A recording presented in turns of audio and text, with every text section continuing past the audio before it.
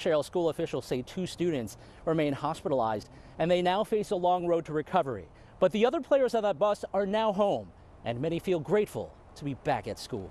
At an afternoon mass, prayer, and high emotion, the St. Ignatius school community pouring out its heart. The school's been nothing but just a big family the past few days, showing just support for the whole program. Charlie Reef's younger brother escaped serious injury while on board this bus Saturday night with other members of the junior varsity hockey team.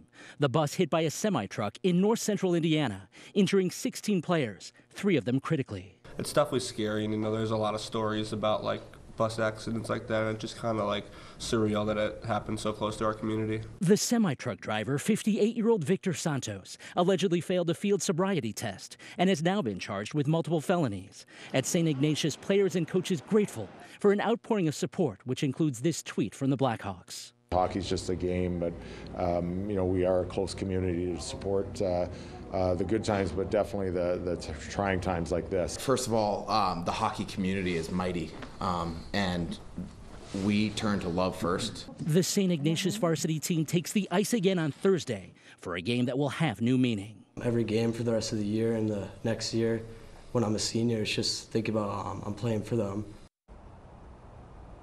As for the junior varsity team, their season is now on hold. School officials say they're going to be talking with parents about whether or not to return to the ice this season. Hey, if you like that video, be sure to subscribe to our ABC7 Chicago YouTube channel.